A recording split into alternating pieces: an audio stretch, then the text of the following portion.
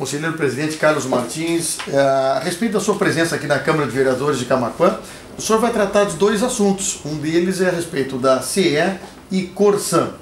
O que, que o senhor poderia nos adiantar a respeito dessa manifestação?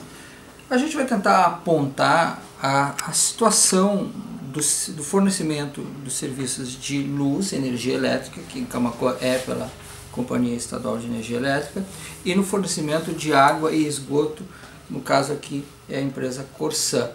Ah, o principal motivo é apresentar ah, a situação de indicadores de qualidade desses serviços aqui no município e na região. Serviços que a gente é essencial para a população, regulado pela agência estadual. A questão da CE, Camacuã tem um contrato é, com a prestação de serviço da CE. Mas, por exemplo, a falta de iluminação pública no, no município para os seus usuários é motivo de reclamação para a GERX?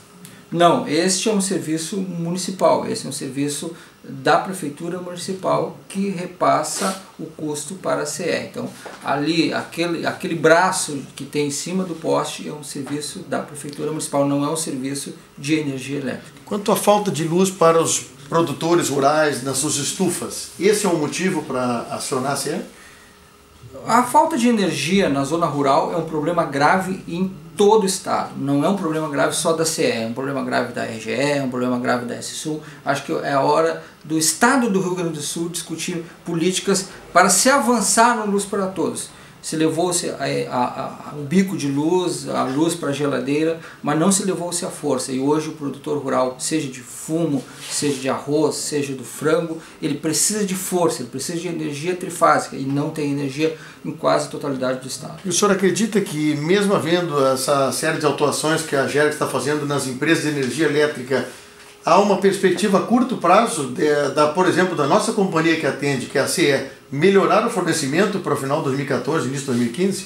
Os investimentos vêm se avolumando em todas as companhias do Estado, entretanto, eles ainda são insuficientes. E é por isso que nós tivemos uma grave crise em janeiro e fevereiro.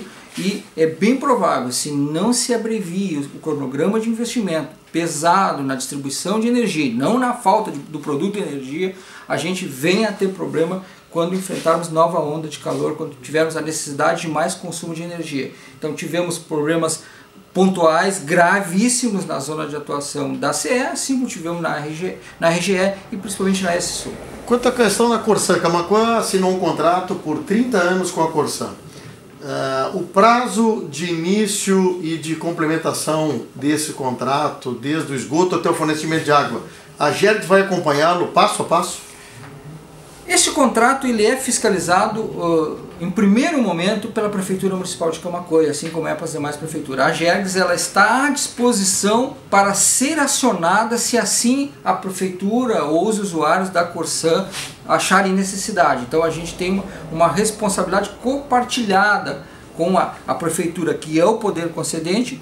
Eu acredito que a, a população acho que está na hora de se preparar para uh, viver um momento não muito... Uh, cômodo que teremos obras, pesadas obras em, em, na distribuição de rede de esgoto, isso vai trazer transtornos, as ruas terão que ser aberto, calçamento aberto, asfalto. É, é um momento diferente que vive o Estado. Aqui em Camacuã, até o dia de hoje, eu posso te dizer que temos zero de esgoto tratado e temos que é, chegar ao momento de ter 100% de esgoto tratado em todas as cidades do estado do Rio Grande do Sul, que de maneira geral, é essa situação que se encontra. Então, é o momento que a população tem que saber que este serviço até agora ele não, tá, não vinha sendo feito e que tem que ser feito. E essa dívida, essa geração tem que pagar, porque até agora o, o país não investiu em esgoto. O senhor acredita que a situação financeira, tanto da Corsã e da CE, é tranquila para o tamanho do investimento que vai ter que ser assumido agora nos próximos anos?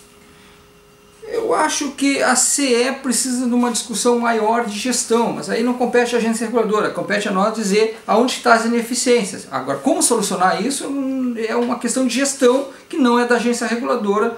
Não, não teria como te dizer hoje aonde estão os caminhos. Sei que a gente tem problemas de indicadores de qualidade, assim como eh, eu te diria que a gente tem que enfrentar questões na, na Corsã e isso estamos, já estamos buscando mecanismos para incentivar a solução, que é o grande desperdício de água que se tem hoje atingindo a, a 50%.